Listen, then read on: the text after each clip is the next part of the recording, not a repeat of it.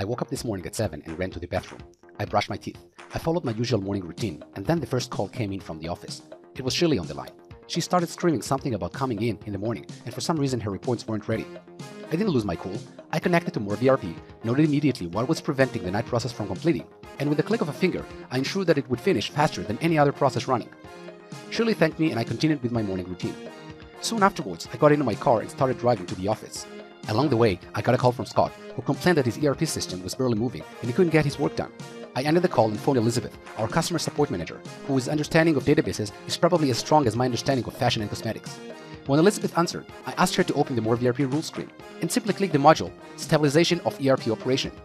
In less than a second, I received a text message from Scott that life is sweet again. I arrived at the office and am accosted in the coffee room by Jack, who tells me that yesterday he had a big problem, but he has looked into all his reports and he can't find the reason. I took my seat, opened up MoreVRP, and started digging into the graphs. I saw spider graphs, graphs with cool balloons, lots of pies, and after 20 seconds I told Jack, hey, your RTBAs write queries about as well as I write poetry. So right away I created a tuning test to take care of the problematic query and ensure that Eric would from now on be receiving emails each morning from MoreVRP for the next 20 years until he tuned that query. Towards lunchtime, I got a notice from QA that they finished their testing and are ready to send their code to production.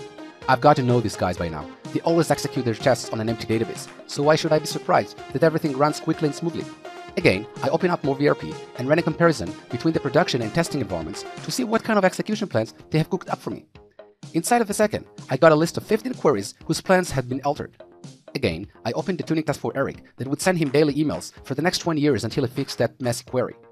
Meanwhile, Jim came into the room and asked if we were achieving the service level and response time we had targeted. To tell you the truth, as a DBA, I couldn't care less, and as far as I'm concerned, they ought to just fire all these pesky customers. But I showed him our KPI indicators, a bunch of cool meter gauges that smart managers understand. And then I went over to his computer and installed some widgets that would display the KPIs right on his desktop and get him off my back. This time, before I left the office, I opened up MoreVRP one more time and I activated the module, let me get a good night's sleep, so I wouldn't get any uninvited phone calls tonight. I went home, spent quality time with my wife and my baby daughter, and visited some cool but legal websites. I felt sound asleep and dreamed nice clean dreams. So that was my day. And how about yours?